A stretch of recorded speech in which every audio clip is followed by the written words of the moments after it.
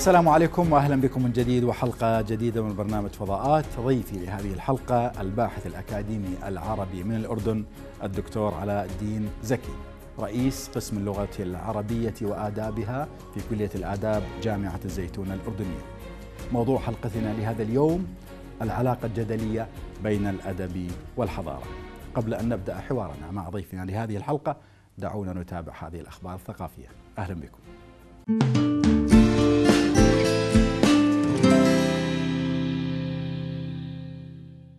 أعلنت الهيئة الملكية الأردنية للأفلام عن إطلاق الدورة الثالثة لصندوق الأردن لدعم الأفلام.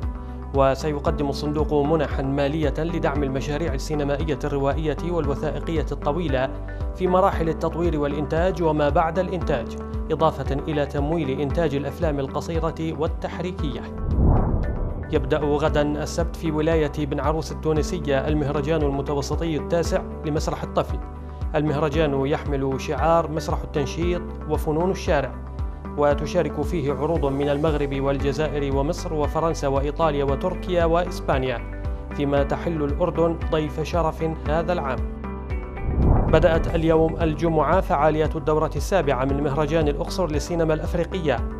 وتشارك وفود من 33 دولة إفريقية إلى جانب 12 دولة من خارج القارة بعرض 110 أفلام موزعة على خمس مسابقات فيما يحتفى بالسينما الرواندية كضيفة شرف للمهرجان هذا العام. نبقى في الأقصر حيث يستمر حتى الأحد ختام فعاليات اختيار المدينة عاصمة الثقافة العربية حيث تواصل فرق فنية شعبية تقديم عروضها بالإضافة إلى معرض تشكيلي يضم أعمالا من 12 دولة عربية. كما تشهد مراسم الختام تسليم شعلة عاصمة الثقافة العربية إلى مدينة وجد المغربية. تختتم بعد غد الأحد الثامن عشر من شهر آذار الجاري أعمال معرض إسطنبول الدولي الخامس للكتاب. وقد حضرت الثقافة العربية في المعرض عبر مئة دار نشر من خمس عشرة دولة عربية. كما شهد الجناح العربي سبعين فعالية متنوعة من الندوات والمحاضرات والأمسيات الأدبية والشعرية والفنية المختلفة. بينما تستمر في السعودية فعاليات الدورة الثانية عشرة من معرض الرياض الدولي للكتاب.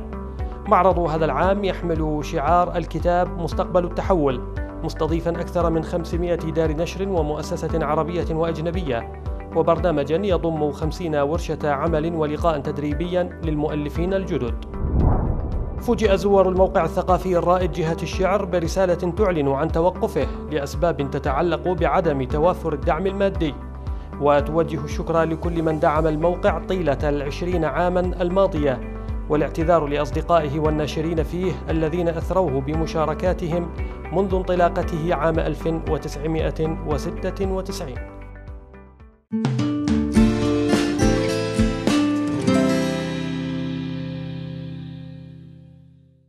أهلا بكم من جديد وحلقة جديدة من برنامج فضاءات ضيفي لهذه الحلقة الباحث الأكاديمي العربي الدكتور علاء الدين زكي رئيس قسم اللغة العربية وآدابها في كلية الآداب جامعة الزيتون الأردنية. موضوع حلقتنا لهذا اليوم العلاقة الجدلية بين الأدب والحضارة. مرحبا بك دكتور علاء. أهلا وسهلا. ضيفا على فضاءات. أهلا وسهلا. حياك الله. طبعا موضوع الكتاب يعني هذا العنوان يعني أخذناه من آه، من عنوان الكتاب الذي أصدرته حضرتك وهو العلاقة الجدلية بين الأدب والحضارة أو العلاقة بين الأدب والحضارة القرن الرابع الهجري الرسائل الفنية في هذا في هذا العصر آه، أو القرن الرابع الهجري وهو يعني القرن أو العصر العباسي. اختيار أو التركيز على على الرسائل. لماذا؟ ولماذا اختيار هذا القرن للدراسة أو للكتاب؟ بسم الله الرحمن الرحيم. في البداية الشكر الجزيل لفضائية الرافدين على هذه الاستضافة الكريمة. آه ثانيا الشكر الجزيل لك أستاذ محمد. وأحب أن أبدأ ب يعني شيء من الذكريات وسبب اختيار هذا الموضوع. الحقيقة هذا الموضوع أطروحتي بالدكتوراه. لكن أرجع بالتاريخ إلى يعني وقت ما كنت طالب بالسنة الثانية في الجامعة. في إحدى المحاضرات في كلية الآداب في الجامعة الأردنية مع أستاذنا الجليل الأستاذ الدكتور عبد الجليل حفظه الله. آه، كنا بالمحاضرة وكنت لأول مرة لأول مرة أستمع إلى عنوان كتاب آه، الحضارة الإسلامية في القرن الرابع الهجري لآدم ميتز. ترجمة الأستاذ محمد أبو ريدة. الحقيقة سمعت هذا العنوان طربت. سعدت. طبعا في ذاك الوقت لم أكن قد قررت دراسة الأدب العباسي. يعني أنا كنت كأي طالب تدرس النحو تحب أن تختص بالنحو تدرس أندلسي تحب هكذا. نعم. كل ما تدرس يعني آه، مادة وتحب مدرسها فتميل إلى هذا الاختصاص. الحقيقة سبحان الله فيما بعد آه، مرحلة الماجستير كتبت عن شاعر بغدادي يدعى محمود ابن الحسين وكان يلقب بكشاجم هذا اسم مرتجل العالمية هو اشتقه من مهاراته. كشاجم الكاف من كاتب والشين من شاعر الألف من أديب الجيم من جدلي أو جواد الميم من مغني أو منطقي وهكذا. كان يعني إنسانا فذا. حتى إن هذا الرجل إن طلب علم الطب في آخر حياته وسمى نفسه طا كشاجم لكن لم يشتهر بذلك. على أي حال آه، كانت هذه الدراسة في مرحلة الماجستير المفتاح كي ألج إلى عالم العصر العباسي وأدرس الأدب والحضارة معا. أه، حقيقة استهواني الموضوع أكثر فأكثر. ثم سبحان الله أن كل الأمر بأطروحة الدكتوراه بعنوان المظاهر الحضارية في الرسائل الفنية في القرن الرابع الهجري. وهذا يعني أه، أه، الاختيار له أسبابه. على أي حال لابد أن أقدم الشكر الجزيل أيضا لأستاذي وحبيبي الدكتور ياسين عايش خليل حفظه الله. هذا أستاذي الذي أشرف علي وتشرفت به يعني أستاذا وأبا في الماجستير وفي الدكتوراه. أعود لسؤالك. سألتني نعم. عن الأدب والحضارة. يعني اختيار هذا الموضوع الرسائل الفنية. يعني الرسائل الفنية في هذا العصر عصر يعني القرن الرابع الهجري وهو جزء من العصر العصر العباسي. آه، يعني أنت اخترت كما قلت أن يعني تسليط الضوء على الرسائل الفنية. يعني نعم. سؤالي الآن هل يمكن أن أن أن نعتبر الرسائل الفنية آه، يعني آه، شاهدة على حضارة آه، ذلك العصر؟ نعم هذا هذا السؤال يعني هو كان مدار البحث حوله. نعم. يعني أنا طرحت هذا في المقدمة طرحت هذا السؤال هل تعد الرسائل الفنية في القرن الرابع الهجري هل لنا أن نعدها وثائق حضارية تعكس حضارة هذا القرن؟ وإن شاء الله يكون الكتاب أجاب عن هذا آه، آه، السؤال. لكن الحقيقة أنه يعني ربما كثير من الباحثين إذا درس موضوعا آه، تحزب له. وجمع كل الشواهد نحو المنحى الإيجابي فقط لهذا الموضوع. لا أنا درست المظاهر الحضارية الإيجابية والسلبية. يعني عندما كنت أذكر مظهر حضاري ما فأقول هذا إيجابي أو هذا سلبي. لكن إذا سمحت لي يعني أضيف شيء أو يعني أعقب على قضية. إيه، قطع العلاقة جدلية بين الأدب والحضارة. وعلاقة يعني ممكن نسميها سباق فيما بينهما. نعم. يعني ممكن لسائل أن يسأل إيه، من يكون بالبداية الأدب أم الحضارة؟ يعني إيه، من السابق بينهما. قلت العلاقة جدلية.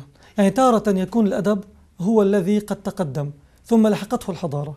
أو العكس تارة تكون الحضارة جاءت بالشواهد والأدلة ثم جاء الأدب ليصف ذلك. يعني أضرب أمثلة على ذلك نعم. بشكل سريع. إيه، عندما بنى الصاحب بن عباد وهو من كبار الكتاب في القرن الرابع الهجري بنى دارا. إيه، ثم ونظمها وزوقها وهكذا. إيه، نادى الشعراء كي يصفوا هذه الدار. يعني هنا الحضارة سبقت. الشاهد العمراني تم ثم جاء الشعراء. يعني يذكر أبو منصور الثعالبي في أتيمة الدهر المجلد الثالث يذكر ثلاث عشرة قصيدة قيلت في هذه الدار نسبة للدار التي أنشأها الصاحب بن عباد. هذا نموذج أن البناء العمراني أو الحضاري كان بالبداية ثم جاء الأدب ليصف هذا البناء. إيه، مثال معاكس مثلا عندما تكون أو يكون الأدب هو السابق. تذكر كتب التاريخ يذكر المسعودي في مروج الذهب ومعادن الجوهر أن الشاعر كشاجم وقف ذات يوم ونظم قصائد كثيرة في الطعام. بمناسبة كان هذا الشاعر العباسي طاهيا ماهرا. نعم هذا إبداع حقيقة يعني. وصف الطعام بأوصاف يعني في غاية الجمال. إيه النتيجة هذا انظر الأدب في البداية الشعر في البداية. النتيجة ذهب المستكفي أو أمر المستكفي بالله بإحضار كل طعام وصفه كشاجم بالطريقة التي وصفها كشاجم. انظر كيف الأمر انقلب. ممكن بالعصر الحديث الآن يكون الشاهد أكبر حول ما يسمى بأدب الخيال العلمي. الآن الأدب سبق كثير من الأمور يعني مكبر الصوت غزو الفضاء الوصول القمر كل هذا كان بالأدب. ثم فيما بعد جاءت الحضارة تثبت ذلك. نعم.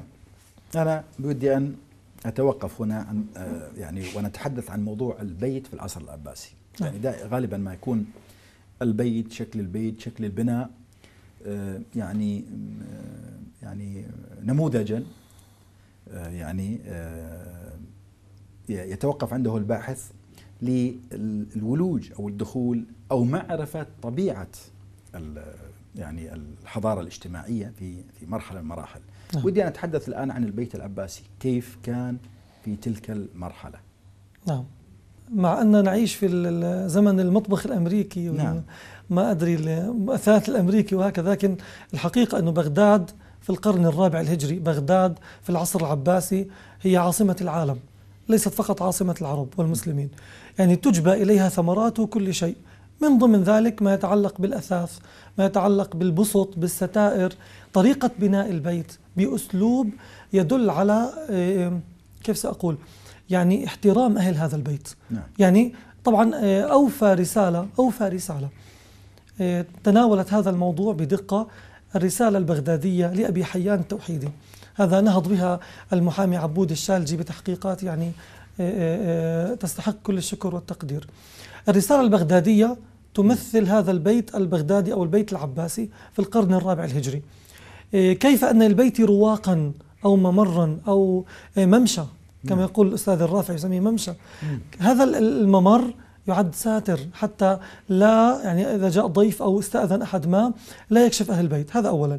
ثانيا ذات ذات الغرف في في إيوان هذا البيت. كلها تبنى بطريقة هندسية كي يعني تحقق معنى الاستقلال أو معنى الستر أو معنى ماذا؟ نقول أنه مهما جاء من ضيف مهما استقل هذا البيت وحل فيه من أناس يبقى أهل البيت في معزل عنهم. يعني طبعا يسلمون عليهم لكن نعم. في حالة من من الاستقرار أو الاستقلال.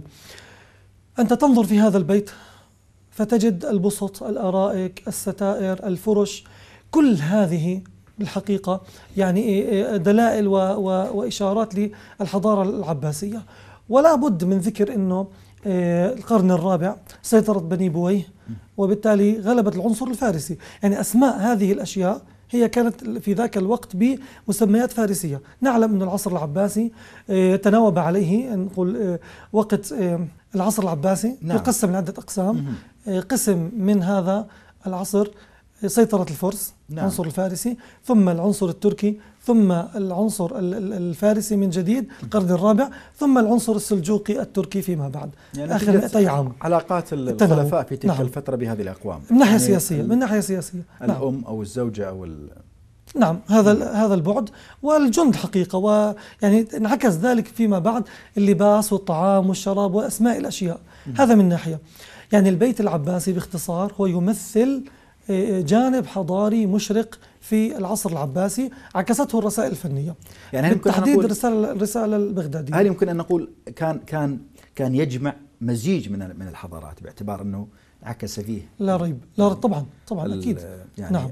الطابع الفارسي الطابع التركي أيضا مع نعم. الطابع العربي. هذا صحيح. لكن من جانب آخر يعني ثمة إشارة إلى البعد الروحي أو نعم. البعد نقول المسلكي. في هذا البيت. يعني ليس فقط البناء العمراني. الحضارة كما تعلم أستاذ محمد يعني آه، تكون مادية وتكون معنوية. الجانب المعنوي مهم جدا الجانب الروحي. ففي هذا البيت تجد آه، من الرسائل طبعا. مرة أخرى آه، موضوع ومدار البحث حول الرسائل الفنية. أنت تجد أن الرسائل عكست جانب مهم وهو الترابط الأسري. عندما تقرأ رسائل بديع الزمان الهمذاني نعم. هذه الرسائل هذا السفر الرائع جدا. المشهور مقامات بديع الزمان. الرسائل غير مشهورة ولكنها في غاية آه، آه، الروعة والإبداع. لا تقل يعني آه، مكانة أدبية عن المقامات. تجد في هذه الرسائل نعم. صورة مشرقة عن الترابط الأسري. يعني بديع الزمان يكتب لأبيه نعم. يكتب لإخوته يكتب لابنه بطريقة يكتب لابن أخته. حتى يعني تجد بديع الزمان طرب أيما طربا. عندما وجد أن مرضعته على قيد الحياة. نعم. فكتب كلاما ورسالة لأبيه يعني يوصيه بالإحسان إليها وإكرامها وهكذا. هذا نموذج ترابط الأسري. نعم.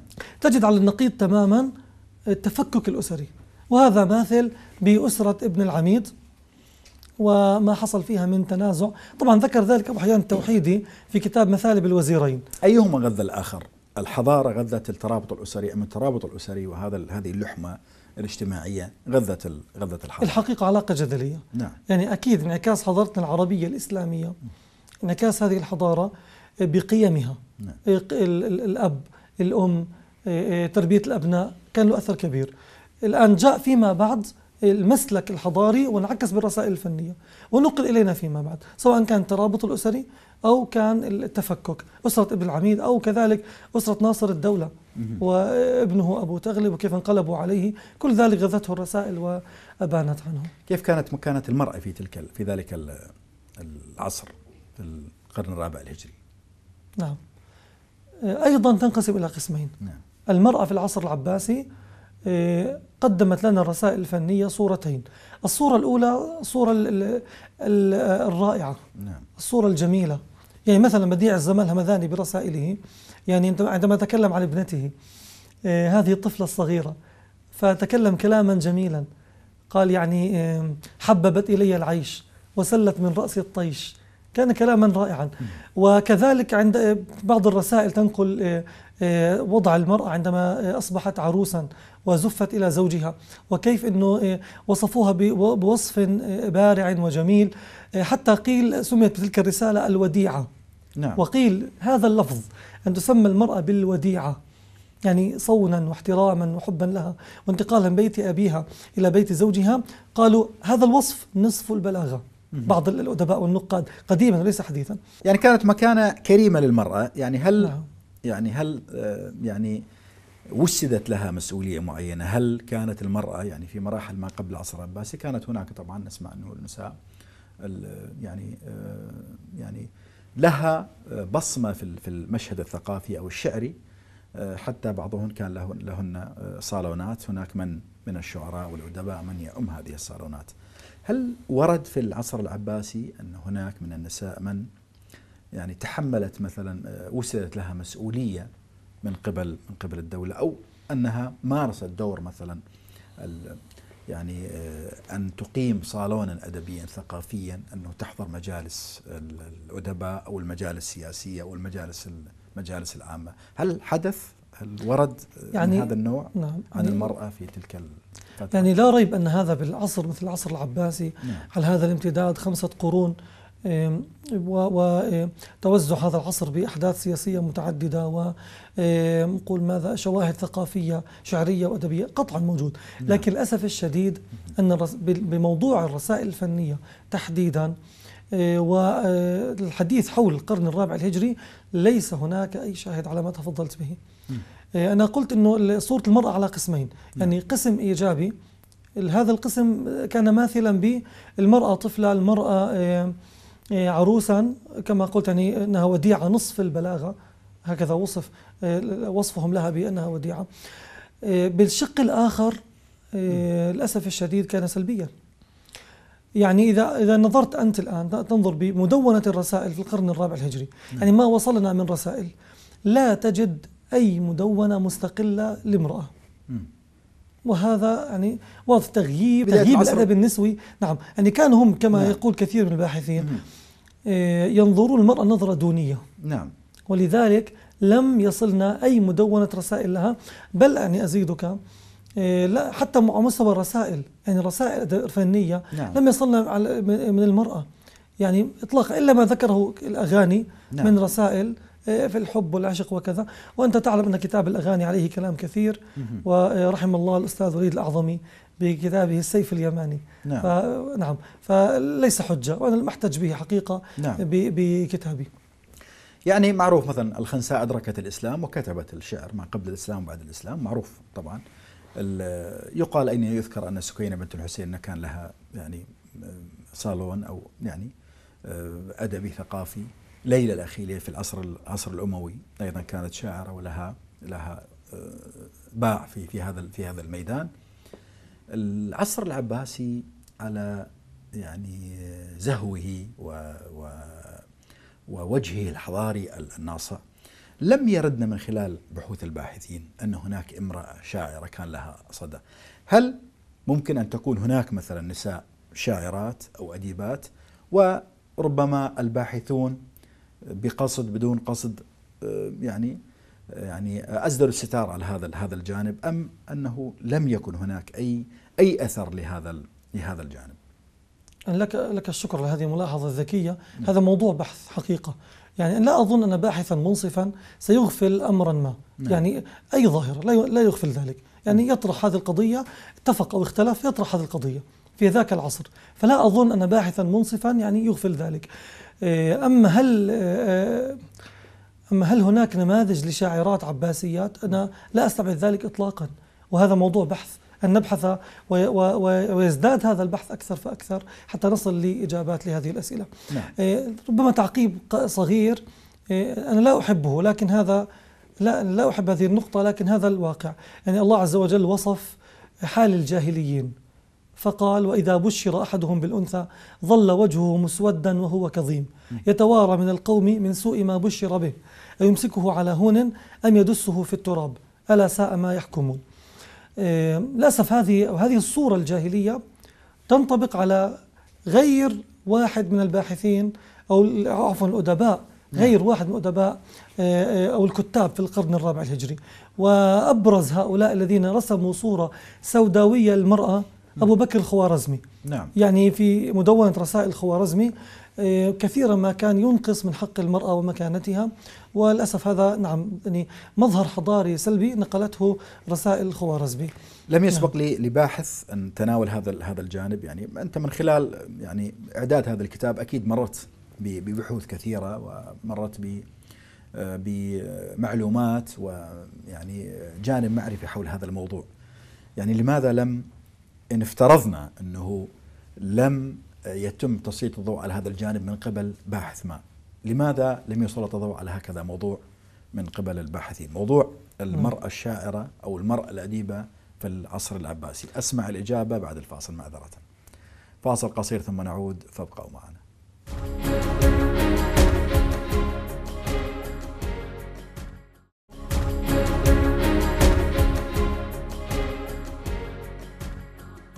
أهلا بكم من جديد وحلقة جديدة من برنامج فضاءات ضيفي لهذه الحلقة الباحث الأكاديمي العربي من الأردن الدكتور علاء الدين زكي رئيس قسم اللغة العربية وآدابها في كلية الآداب جامعة الزيتونة الأردنية. أعود إليك دكتور علاء. كنت سألتك يعني هل يعني إذا افترضنا أنه آه، لم يسبق لباحث أن آه، يعني خاض في هذا الموضوع موضوع المرأة الأديبة أو الشاعرة في العصر العباسي. لماذا؟ آه، لم يسلط الضوء على هذا الجانب من قبل الباحثين.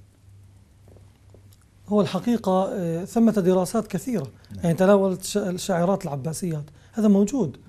لكن تحديدا موضوع صالون أدبي مثلا وتحديدا الرسائل الفنية يعني مرة أخرى مدار البحث آه، الذي قدمته ليس هناك أي شاهد. أنا أقول ربما ينقص أو يعني ينقص هذا الباحث المصادر المراجع التي تفي بهذا الغرض ليس أكثر. لكن إذا كان باحثا يعني مجدا قطعا سيصل إلى حول هذه النقطة. وصلت إليه في بحثي آه، عدة أمور من ضمنها النظرة الدونية للمرأة للأسف هذا كان موجود. مرة أخرى أقول عبر الرسائل الفنية اعتبار ليست أصل ليست أهلا لأن آه، يحفظ أدبها وشعرها وهكذا. وبالتالي تم الإغفال. يعني عفوا أستاذ على على يعني قضية آه، التهنئة بالمولودة الأنثى نعم. تعلم الرسائل تكتب لمناسبات اجتماعية كتهنئة بمولود الأنثى نعم. هذه التهنئة في المولودة البنت تدرج ضمن باب في الأدب وحتى كتاب للثعالبي تضمنت الرسائل هذه التهنئة رسائل موجود نعم. نعم لكن أين أدرج نعم. هذا هذه الرسائل أدرجت في باب تحسين القبيح في كتاب للثعالبي نعم. تحسين القبيح وتقبيح الحسن انظر التهنئة بالمولود البنت أين وضع هذا؟ في باب تحسين القبيح. يعني ابتداء المرأة قبيحة هكذا يعني يرى هؤلاء يعني أصحاب الأخلاق الجاهلية نعم. حقيقة. نعم. فبالتالي صار التهنئة بها هو ماذا؟ هو آه، تجميل لما هو قبيح للأسف الشديد. نعم. نعم. نتحدث عن علاقة المثقف بالسلطة. غالبا معروف أنه في في في آه، مختلف الأزمنة دائما العلاقة بين العلاقة بين المثقف والسلطة علاقة غير إيجابية. في الغالب هناك يعني عدم ارتياح هناك نفور هناك عداء هناك هناك.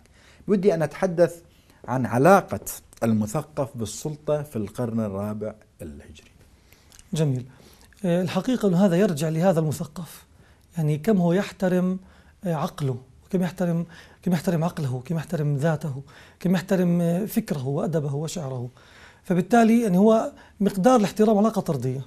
مقدار الاحترام يزداد البعد عمن يجبره على قول ما لا يريد قوله. ومقدار عدم الثقة بالنفس وهكذا وعدم احترامه عدم احترامه لذاته يبدأ ماذا؟ ينصاع للآخر ويتراجع آه، فيما يكتب فيما يقول. على أي حال في القرن الرابع الهجري تتوزع هذه النظرة إلى ثلاثة أقسام. وسبحان الله ضمن هؤلاء الكتاب أنفسهم وضمن رسائلهم.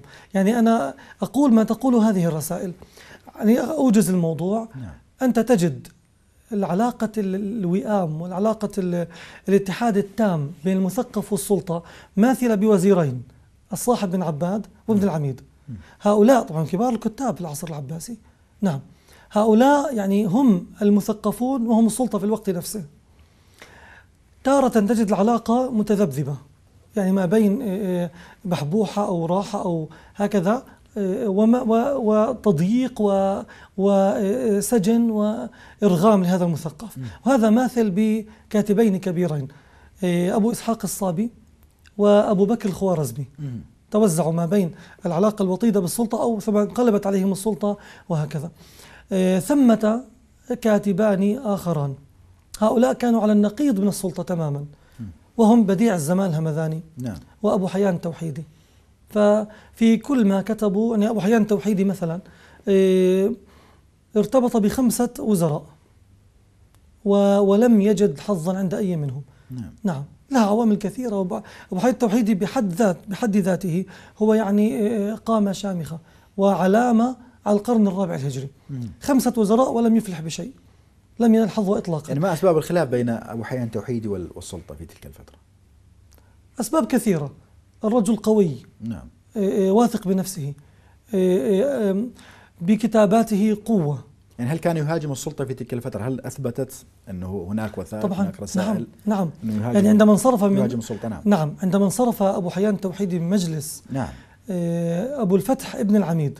هذا ابن ابن العميد. أبو الفضل بن العميد الأب الوزير المشهور فيما بعد جاء ابنه أبو الفتح ابن العميد. نعم.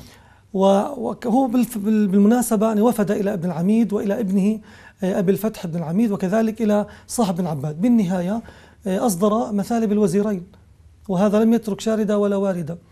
طيب آه، يضاف إلى ذلك أمر لابد من ذكره وإن كان هذا مظهر حضاري سلبي. سنأتيه بعد قليل لكن الاستباق التوحيد كان سنيا. وهناك أدلة تثبت ذلك. نعم. رسالة السقيفة التي كتبها أو يعني أنشأها على لسان الصحابة الكرام. نعم. فهذا كان سبب لأن يقصى من بلاط ابن العميد أو بلاط صاحب بن عباد. ويضاف كما قلت أنه قوته وأنه هذا رجل ليس بالرجل اللين أو المستكين أو الضعيف الذي يعني يجلب إلى أي بلاط. لا. هذه القوة كانت حائل بينه يعني وبين أن يكون كان يخشاها السلطان أنه ربما أنه يستقطب الناس أنه حوله أنه ممكن طبعا أن طبعا. سنأتي فيما بعد أني إذا أحببت نعم. لما يتعلق بالمجالس الأدبية. فكانوا نعم يستقطبون هؤلاء الكتاب والشعراء. نعم, نعم. هذا كان موجود. لكن هو كان يعني هو يأبى ذلك. حتى بالنهاية أحرق كتبه كما هو معروف يعني. يعني نقم على المجتمع. نعم. ألف رسالة الصداقة والصديق. نعم. وأصبحت نقمته ليست على الطبقة السياسية فقط بل انتقل للمجتمع بأسره. وقال بمقدمة هذا الكتاب يعني أعلم أنه ليس هناك صداقة ولا من يعتد ولا من يعد صديقا. نفى ذلك في البداية يعني. نعم. نعم.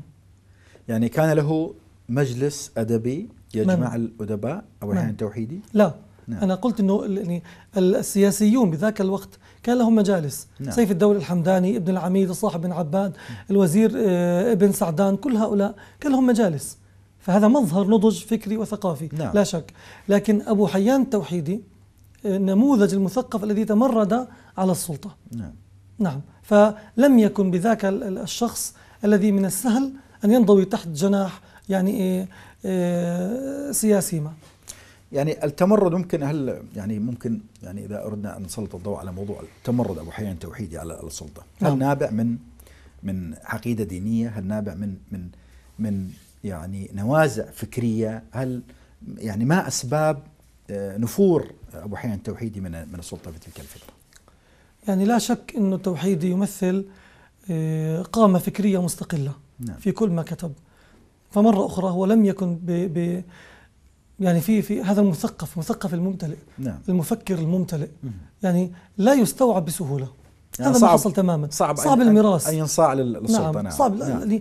لم ينصح حقيقة هو لم نعم. ينصح لأحد وبالتالي يعني قضى عمره و حضرتك تناولت في الكتاب مظاهر ال ال يعني مظاهر الحضارة الفكرية في ذلك ال- نعم. ذلك العصر في القرن الرابع الهجري. بدي أن نتحدث عن ال- حالة النضج الفكري في آه، ذلك العصر، كيف كانت؟ كيف كتب عنها عنها الباحثون؟ جميل يعني الرسائل الفنية عكست هذا يعني بشكل آه، واسع بشكل دقيق. يعني على مستوى الحديث عن القلم الحديث عن المحبرة الحديث عن المداد الدوات آه، الخط وأنواع الخط العربي نعم. آه، طريقة الكتابة كل ما يتعلق بهذا يعني ما آلة تدوين الفكر. هذه ال- الكتابة كل خاضوا فيه أيما خوض. وكان كثير منهم كبار الكتاب. يعني آه، أبو حيان التوحيدي كان خطاط له رسالة رسالة في علم الكتابة. هو كان بحكم عمله بالوراقة آه، كان خطاطا موهوبا ورسالته يعني تعد يعني وثيقة حضارية وأكيد على تقدم العرب بذاك الزمن بهذا الفن وجماليات الخط العربي. كذلك كان أبو إسحاق الصابي أيضا كاتبا وكان يعني مبرزا في هذا. كذلك الصاحب بن عباد أيضا و- وابن العميد كانوا يعني هم أصلا سبحان الله موهو هم قوم موهوبون. نعم. يعني عندهم موهبة بالرسم موهبة بالخط موهبة عقلية. كله انعكس فيما بعد بالسجع والجناس والمحسنات البديعية بصورة عامة. إيه، مثلا عندما كانت تصل الرسالة إيه، إلى الصاحب بن عباد. نعم. يرسل قابوس بن وشمكير ملك جرجان. يرسل للصاحب بن عباد رسالة. يأخذ الرسالة الصاحب بن عباد يتأمل ينظر ثم يقول هذا خط قابوس أم جناح طاووس. من شدة الإعجاب نعم. بهذا ال- الفن. وهذا بحق يعني أنه آه، مشهد حضاري إيجابي لابد من التوقف لابد من التوقف عنده. آه، لا، أضيف لذلك نعم. مظاهر نضج فكري وثقافي المجالس الأدبية. المجالس. وإن كانت تعقد يعني ضمن آه، هيئة أو سلطة سياسية راعية. الوزير المهلبي كان له مجلس خاص. الصاحب بن عباد ابن العميد الوزير ابن سعدان آه، كل هؤلاء كانوا سيف الدولة الحمداني. هذه مجالس أدبية استقطبت كبار آه، الكتاب والأدباء والموسيقاريين والفنانين وهكذا. فحتى الفلاسفة آه، وهكذا. فكان له أثر آه، حضاري كبير. وانعكس هذا فيما بعد على كتابة الرسائل الفنية. قضية المكتبات الخاصة والعامة أيضا كان له دور كبير. يعني على سبيل المثال آه، تنقل الرسائل الفنية آه، مراسلة سرية. جرت بين المرزبان أحد ال- ال- ال- الكبار المسؤولين بذاك الوقت أرسل رسالة سرية للصاحب بن عباد. نعم. أن اقدم إلي. يستقطب هذا الأديب والمثقف والسياسي المشهور. اعتذر الصاحب بن عباد. رفض. ما سبب الرفض؟ لماذا رفض؟ وهذا مثبت بالكتب. وهذه على فكرة رس- رسالة فنية لكن قصيرة ولكن آه، سرية أيضا. ثم نقلت فيما بعد. قال مكتبتي وحدها مكتبة وحدها. تحتاج 400 جمل كي تنقل. فكيف سيهرب سرا إلى هذا المسؤول؟ وهكذا. ممكن أتحدث عن عن الترجمات في تلك الفترة؟ طبعا الفتوحات ال- ال- العربية الإسلامية في تلك الفترة يعني كانت واسعة جدا ودخلت أمم أخرى إلى حاضرة ال- الدولة العربية الإسلامية. وهناك طبعا هذه الأمم فيها من هم مفكرون وهم يعني أدباء و- وكتاب وعلماء وفلاسفة. آه، نسمع من خلال القراءات أو نقرأ من خلال البحوث وما نقل انه هناك يعني ازدهرت الترجمة في مرحلة ال- العصر العباسي. نقل آه، ما كتب في اللغات الأخرى إلى اللغة العربية وبغداد كانت زاخرة بهذا الموضوع. بدي أن سلط الضوء بقدر معين على هذا الجانب. هذا يعود إلى آه، يعني عصر التدوين. نعم. ونقول مثلا القرن الثاني القرن الثالث الهجري آه، نتكلم عن خلافة المأمون وكما هو معروف ب يعني إعطاء وزن الكتاب ذهبا نعم. لمن يترجمه وهكذا. آه، لكن فيما يتعلق بالرسائل الفنية بالقرن الرابع نعم. لم أجد في حدود ما قرأت وما علمت. بالمناسبة دراستي مشرقية. نعم. يعني الرسائل الفنية في القرن الرابع الهجري في المشرق العربي. ما يتعلق بترجمة الكتب لم أقف على هذا. بمراسلات تتحدث عن هذا الموضوع لكن قطعا آه، القرن الرابع يعني هل هل. توقف العمل فيها في فيما بعد في قطعا لا لا لا قطعا نعم. يعني لم يتوقف قطع الترجمات و- آه، والاقتباس من الأمم الأخرى ما توقف اطلاقا لا يتحدث عن انعكاس ذلك بالرسائل الفنية نعم مدار البحث لا لم أتوقف على ذلك. الرسائل ماذا كانت تتحدث؟ ماذا تتحدث عن هذه المجالس التي قبل قليل ذكرتها؟ حضرتك؟ نعم. المجالس السياسية الأدبية لهذه الشخصيات. ما الذي كان يدور في هذه المجالس؟ هل كانت القصيدة كان الحديث السياسي شؤون الدولة؟ ما الذي كان يدور في هذه هذه المجالس؟ هذه المجالس أو الصالونات الأدبية سمها ما شئت نعم. يدور فيها يعني كل ما يتعلق بالفكر والثقافة يعني يطرح فيها كل شيء. نعم. هذا في حدود ما أعلم. يعني لم تكن مجالس آه، مختصة بالفقه مثلا نعم. أو مختصة بالأدب وحده لا. يعني قلنا ال- قلت الرسائل آه، يعني لم تسلط الضوء في هذه المرحلة في هذا العصر على موضوع الترجمة. أكيد في مرحلة المأمون في العصر القرن الثاني ال- الهجري إنه كان هناك اهتمام بهذا بهذا الجانب. بدي أن ننتقل إلى موضوع آخر وموضوع التسامح الديني في القرن الرابع الهجري. إنه يعني رافق هذا ال هذا ال هذا النضج الفكري الحضاري آه، تسامح ديني في تلك في تلك المرحلة. بدي ان انه حضرتك أنت تناولت في هذا تناولت هذا الموضوع في هذا الكتاب. بدي ان يعني آه، تسلط الضوء على موضوع التسامح الديني في تلك تلك المرحلة. نعم. الحقيقة هذا الموضوع يعني طرقته الرسائل الفنية وأبدعت في آه، تقديمه وأبدعت في تقديمه وأفاضت نعم. حول الكلام عن التسامح الديني. الأمثلة كثيرة بذلك. نعم. رسائل فنية أو رسائل آه، عهود مثلا رسائل سياسية كتبت في حفظ حقوق أهل الذمة. آه، رجالا وشيوخا وأطفالا ونساء. آه، حفظ ما يؤخذ منهم من مال أن نعم. يكون بمقدار محدد دون أي زيادة دون أي إيذاء لهؤلاء القوم. فهذا كان أمر يعني آه، يحسب بمظهر حضاري إيجابي في القرن الرابع الهجري من العصر العباسي والعصر العباسي عموما. الرسائل الفنية نقلت أيضا أمر مهم وهو, وهو رسائل أبي إسحاق الصابي. إن هذا الرجل كان صابئيا يعبد الكواكب والنجوم وهكذا ولكنه إطلاقا إطلاقا لم يقصى ولم يستبعد بل يعني آه، فيما بعد أبو إسحاق الصابي أصبح رئيسا لديوان الرسائل يعني بمنزلة وزير ثقافة بذاك العصر. طبعا يعني رغب الخلفاء والأمراء بأن يسلم هذا الرجل. أحبوا له الخير لكنه رفض فلم يجبره أحد على ذلك أبدا. يعني كان يمارس دورا اداريا سياسيا في الدولة في تلك المرحلة؟ طبعا. نعم. كان هو على رأس ديوان الرسائل ترقى إلى ذلك. آه، أبو إسحاق الصابي صحت له صحبة الشريف الرضي. وكان بينهم دارت مراسلات شعرية ونثرية يعني آه، رائقة جدا والغاية في البلاغة والغاية بالإتقان. ولكن عكست مرة أخرى نموذج للتسامح الديني يعني هذا آه، هذا صابئي نعم والطرف الآخر ماذا؟ من آل البيت الشريف الرضي. لكن علاقة حميمة حتى بعد ما مات أبو أبو بعد ما مات أبو إسحاق الصابي رثاه الشريف الرضي نعم. بأعذب الكلام. وهذا مثبت بالكتب. نعم. يعني الموضوع الأهم من ذلك موضوع علاقة آه، أبي إسحاق مع الشريف الرضي هو أن أن تسند وظيفة إدارية في دولة يعني طابعها إسلامي نعم. لرجل أو لشخص ليس مسلما يعني يعني إذا افترضنا كما الآن تشاع هذه الحملة ضد ضد الإسلام أنه الإسلام إقصائي الإسلام تهميشي الإسلام آه، يحمل آه، ضغينة أو عداء تجاه ال- الأديان الأخرى. ال- يعني هل ورد أن هناك من اعترض مثلا أن هذا الرجل صابي كيف تسند له وظيفة إدارية؟ آه، في حدود ما قرأت إطلاقا. نعم. وفي حدود ما أعلم لأن لم تثبت لنا أي رسالة فنية آه، اعتراض أو رفض ذلك إطلاقا. ونحن أصحاب شعار لا إكراه في الدين. نعم.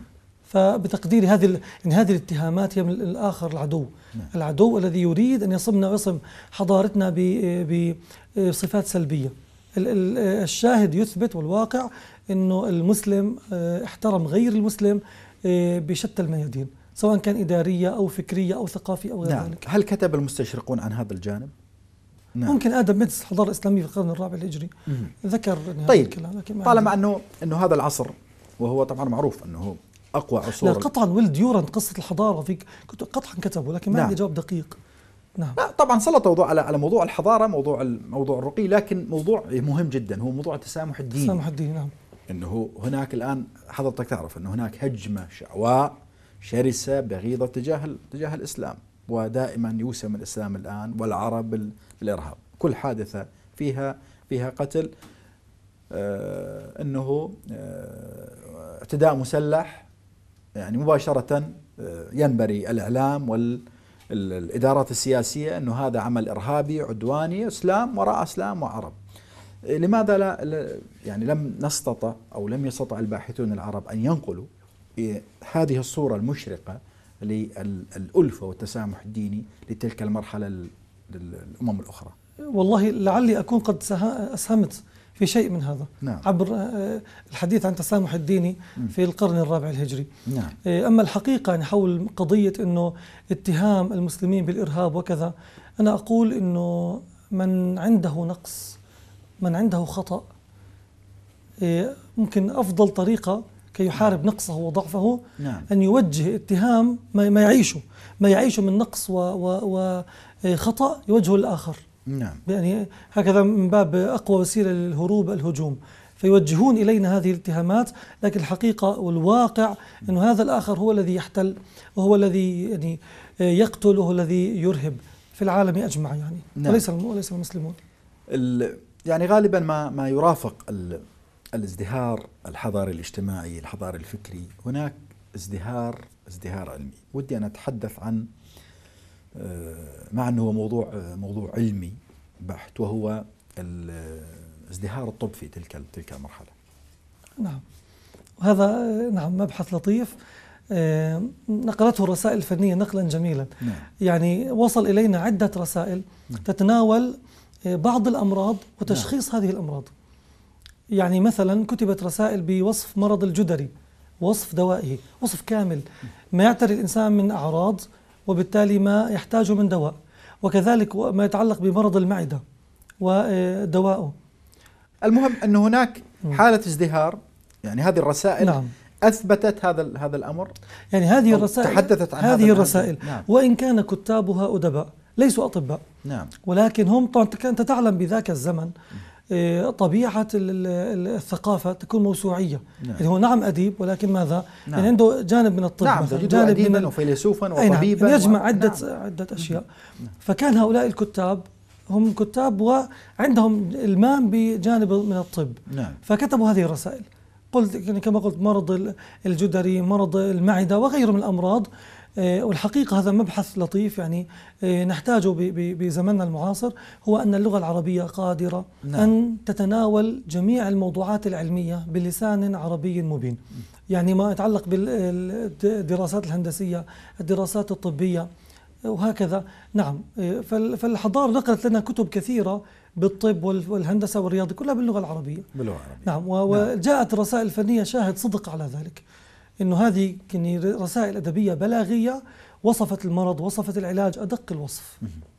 شكرا لك الباحث الأكاديمي العربي من الاردن الدكتور علاء الدين زكي رئيس قسم اللغة العربية وآدابها في كلية الآداب في جامعة الزيتونة الأردنية. شكرا لك. شكرا جزيلا حفظكم شكرا لك شكرا لك. أعزائي المشاهدين أشكر لكم حسن المتابعة وأدعوكم التواصل مع باقي فقرات البرنامج. شكرا لكم.